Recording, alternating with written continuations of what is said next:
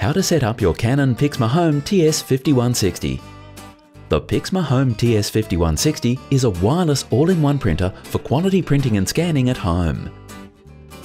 We want you to have the best possible experience in setting up this printer, so we've created Canon Print Assist. You can register your printer, get step-by-step -step installation guidance, or speak to a Print Assist expert if you need an extra helping hand. To watch the videos right here on YouTube, check out the links to each video in the descriptions field below. Still a bit unsure?